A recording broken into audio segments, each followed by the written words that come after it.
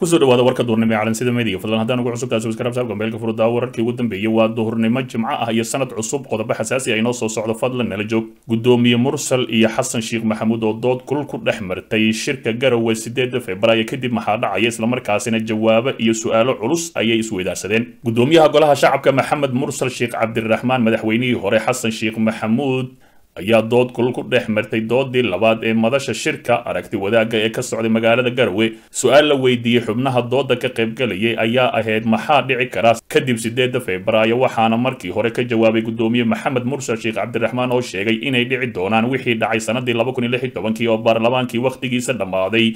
Uu sii joogay afar bilood madaxweyne xasan sheekhna uu sii joogay lix bilood ilaa febraayo la doortay madaxweynaha cusub jawaabta waxaa ka hor yimid madaxweyne xasan sheekh maxamuud oo sheegay inaysan isku mid ahayn labada xilli oo markii uu isagu ahaa madaxweynaha oktoobar socotay doorashadii baarlamaanka laakiin hadda aanay waxba socon. Su'aashun ay tahay haddii iyadoo aanay wax doorasho socon la gaaro sideeda febraayo maxaa dhici doona sideedda febraayo haddii doorasho aysan dhicin waxba aysan socon ma naqaan waxa dhacayo oo ma aha wax hore noo soo maray ayuu yidhi xasan sheekh maxamuud. Sharci darrana ku tilmaamay qaabka loo ansixiyey golaha adeega garsoorka iyo magacaabista ra'iisul wasaaraha ku-meel gaarka ahi maadaama wakhti dhow oo ka dhinnaay xilkiisa. Si kastaba ha ahaatee su'aashaasi ayaa gebi ahaanba ka biyo diiday xasan sheekh maxamuud. Sidoo kale gudoomiyaha ayaa waxa uu daliishaday in afar bilood ay sii joogi doonaan islamarkaasina madaxweynaha lix bilood sii doono si kastaba ha ahaatee xasan sheekh maxamuud ayaa sheegay inay tii iyo tan aysan marnaba isku mid ahayn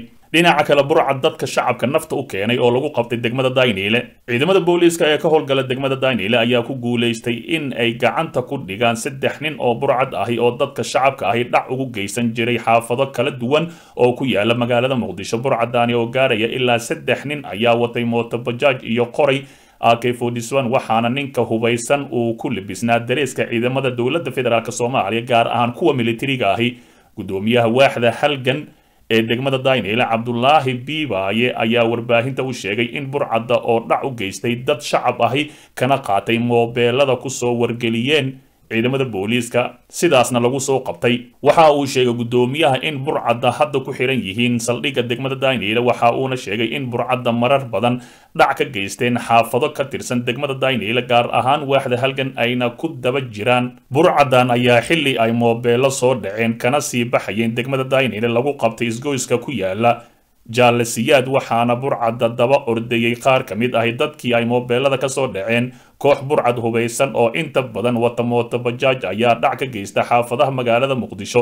Burcadaani ayaana inta badan dhaca moobeelada iyagoona mararka qaar dil iyo dhaawac u geysta dadka isku dhajiya moobeelada ay wataan. Si kastaba ha ahaatee rag ciidamada xoogga dalka soomaaliya wata ayaa shacabka sidaasi u dhibaateeya. Dhinaca kale cabdiraxmaan cabdishakuur warsame oo sheegay sababtii uu ugu baaqday shirka magaalada garowe ka socda siyaasi cabdiraxmaan cabdishakuur warsame oo ka mid ahay musharaxiinta madaxweynaha ayaa shaaciyey sababta uga baaqday shirka sanadlaha ahaa ee ka socday magaalada garowe. Isagoo ka hadlayay kulan ka dhacay magaalada muqdisho ayuu sheegay inuu muqdisho ugu haray inuu isha ku hayo dhaqdhaqaaqa dowladda islamarkaasina dad ku filan ay jiraan shirka magaalada garowe waxa uu yidhi garowe in ku filan ayaa joogta dadkuna inay meel wada aadaan. Muhiim ma aha dad ku filan oo leh madax siyaasiyiin mucaarad musharaxiin ayaa jooga. Iyo muhiim ma ahan in la wada tago. Annaga waxaan rabnaa inaan idinka idinla joogno dowladda aan isha ku hayno. Haddii ay xadgudub samaysane aan sheegno ayuu yidhi. Cabdiraxmaan cabdishakuur warsame oo la weydiiyey sababta oo uu tegi waayey shirka garowe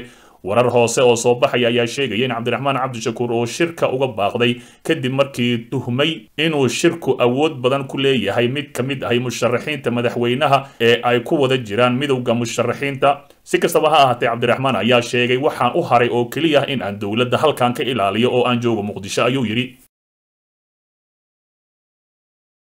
waa sanadka cusub laba kun iyo kow iyo labaatanka sanad wanaagsan ayaa idin leynahay idil ahaantiiba meel kasta aad joogtaan daawadayaasha ku xihan calansida mediya xog xasaasiya ra'iisul wasaare roble oo weji kale ula soo baxay madaxweyne farmaajo iyo xilka qaadis uu bilaabay islamarkaasina xiriirkii kala dhexeeyey. Xafiiskiisa iyo xafiiska madaxweynaha farmaajo ayuu gebi ahaanba jaray. Ra'iisul wasaaraha soomaaliya maxamed xuseen roble ayaa bilaabay xilka qaadis uu ku sameynayo xubnihii laga soo magacaabay xafiiska madaxweyne farmaajo ee u qaabilsanaa xafiiskiisa. Kuwaas oo xiriir dhow la lahaa madaxweyne farmaajo islamarkaasina wax kasta oo halkaasi ka dhacaya loo tabin jiray ra'iisul wasaare roble ayaa gebi ahaanba jaray fiiladii isku xiraysay xafiiskiisa iyo madaxtooyada kadib markii uu xilka ka qaaday xoghayihii joogtada ahaa ee xafiiska ra'iisul wasaaraha. Mas'uul cusubna u magacaabay xafiiskiisa.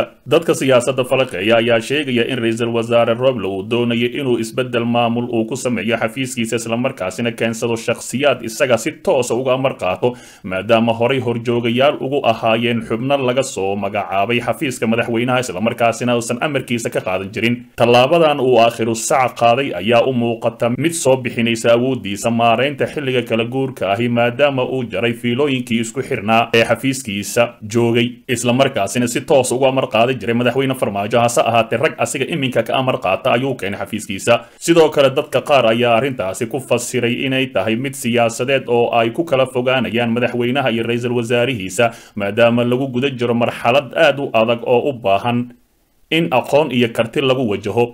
Ra'iisul wasaaraha soomaaliya maxamed xuseen roble ayaa magacaabay xoghayaha joogtada ee xafiiskiisa afhayeen iyo agaasime habmaamuus kuwaas oo dhammaantood ah wejiye cusub. Si kastaba ha ahaatee xiriirkii tooska ahay ee labada xafiis ayuu gebi ahaanba dhexda ka jaray. Roble geesinimona la soo baxay dhinaca kale cabdiraxmaan faroole oo ka hadlay tallaabadii uu qaaday madaxweyne farmaajo. Madaxweynihii hore ee dowlad goboleedka puntland cabdiraxmaan maxamed faroole oo qayb ka ahaa madaxdii ka qayb gashay madasha aragti wadaagga ee ka furmay magaalada garowe ayaa ka hadlay dastuurka ku-meelgaarka ahi dalka. Senator cabdiraxmaan faroole ayaa ugu horrayntii sheegay inay muhiim tahay in madaxweynuhu aqoonsado waxa uu xaqa u leeyahay iyo wuxuusan u lahayn. Taasi uu u muuqata inuu kaga soo horjeedo tallaabo uu dhowaan qaaday madaxweyne farmaajo. Taasi uu wax ka beddel ku sameeyey dastuurka waxaa kale uu sheegay in isla xisaabtankii uu lumay isaguna eedayn culus u jeediyey xukuumadda oo golaha wasiirada ku soo dartay xildhibaano badan oo ka tirsan golaha shacabka kuwaasi oo meesha ka saaray la xisaabtankii xukuumadda. Baarlamaanka rag ku jira ee wasaaradda ka mid noqday waa inay mar wasaaradda ka codayn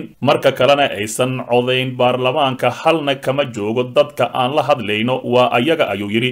Markii ay hadlayeen guddoomiyaha golaha shacabka iyo ra'iisul wasaaraha wixii sacbinayay waxay ahaayeen wixii xamar ka yimid uma aysan imaan in ay wax ka faa'iidaystaan halkan ee waxay u yimaadeen inay sacbiyaan xaqiiqda runta ahna waa intaas. Sidoo kale waxa uu soo bandhigay qodobo uu sheegay inay fure u yihiin dhammaystirka dastuurka iyo saraynta sharciga.